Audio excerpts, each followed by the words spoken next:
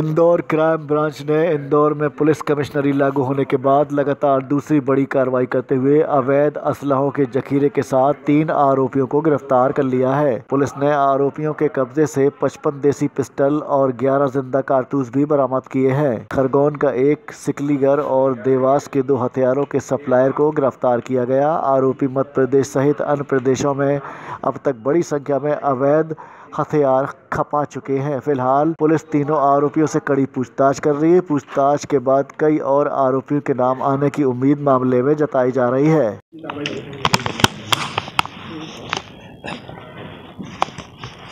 जैसा पिछले दिनों हम लोगों ने चर्चा की थी कि मुख्य तौर पे ऑर्गेनाइज क्राइम के खिलाफ में संगठित अपराधों के विरोध हम लोग एक लगातार बड़ी कार्रवाई करते रहेंगे।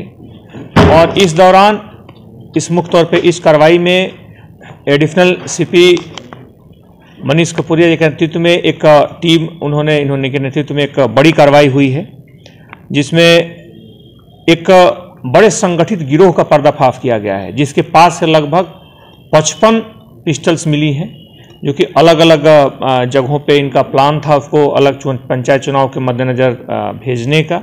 साथ ही साथ कुछ राउंड इनके पास से कारतूस भी मिले हैं और इस कार्रवाई के बाद पुलिस को न सिर्फ़ ये हथियार मिले हैं, बल्कि इसको बनवाने के को जो फैक्ट्री है, उसको भी पुलिस ने रिकवर किया है। साथ ही साथ दो और लोगों को भी गिरफ़्तार किया गया है। उन दो लोगों को भी जो कि इसको बेचने में और साथ में इनके मददगार थे। इसे मुख्य तौर पर इसे बताया ये एडिशनल सीपी हमारे डीसीपी हेडक्वार्टर डीसीपी क्राइम और एडिशनल एसपी क्राइम इनके नेतृत्व में पूरी कार्रवाई की गई है। इस इसके साथ साथ हम लोगों की आगे भी कुछ इस तरीके की जानकारियाँ मिली हैं जो स्थानीय तौर पर हथियारों का मुख्य तौर पर अलग अलग जगह सप्लाई करते थे कुछ संगठित अपराधियों के साथ उनके संबंध थे।